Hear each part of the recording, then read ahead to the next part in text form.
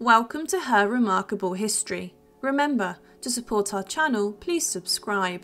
The oubliette, history's horrific torture and execution method. One part of a castle which can normally be found inside of a fortification is a dungeon. These were primarily used as places where high value targets and prisoners could be held, and then after their incarceration, they could be turned over.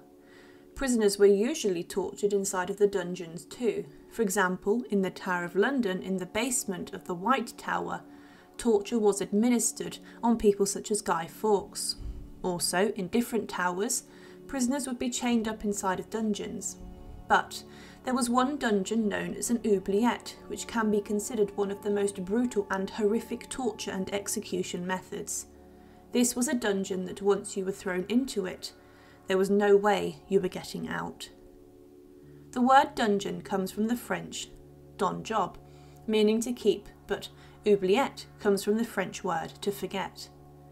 The point of this dungeon was for someone to be thrown inside it and never emerge from it, being left to die, being forgotten by society and everyone.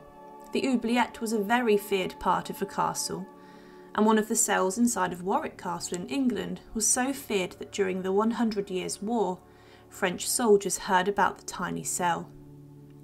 Many oubliettes were created in a bottle shape, which meant that it was impossible for someone to climb out and escape, and there was normally no intention to get a prisoner out of the oubliette. They were incredibly claustrophobic, and in some of these, prisoners would not have enough room to move or stand up, a prisoner would be thrown into it through a small hatch in the roof or a floor, and often they would fall a significant distance and would break bones on their landing. The claustrophobia meant they were forced into the same position for 24 hours, seven days a week, which would make a prisoner go mad with the psychological torture. They were usually horizontal, long, and narrow, and could have jagged stones and spikes on the floor, which meant that a person would be stuck in immense pain because of the conditions. Prisoners would lose their sanity in the claustrophobic conditions, and things would get worse. Often the guards of a castle would throw all manner of things down the oubliette, such as dead animals or human excrement and waste. They did this to make sure that a prisoner would succumb to their death a lot sooner, hopefully contracting an infection or disease from the disgusting things thrown down the oubliette.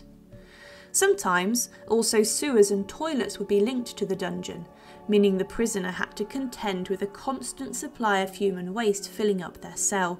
Rats would be found inside there too, and there were accounts of vermin such as rats feasting on the dead bodies of the prisoners once they had died inside the cell.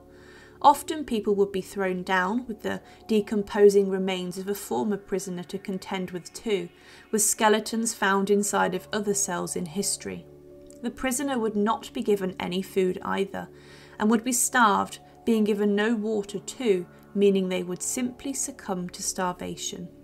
It was a very slow and agonising death, being left to succumb to your fate and impending demise. One can also be found in Leap Castle in Ireland, and when the castle was built, it was the scene of many different attacks between different Irish feeding clans.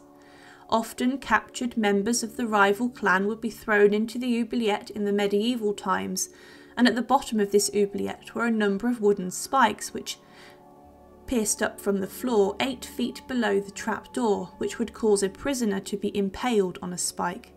The number of skeletons were found inside of the oubliette here in the 1920s, and there were so many remains that it took three carts to transport them out of the castle for reburial. The oubliette was a sinister method of torture devised to slowly kill a prisoner. Imagine being thrown into a room in complete darkness with no way out at all, the only way out being death itself. All the horrors that were found inside of the oubliette would be enough for someone to want to choose the easy way out, but they also had to wrestle with their own mind knowing that they would never get out. The psychological and physical torture of the oubliette made it one of the worst torture and execution methods in history. Thank you for watching, and to support, please subscribe to Her Remarkable History. Thank you.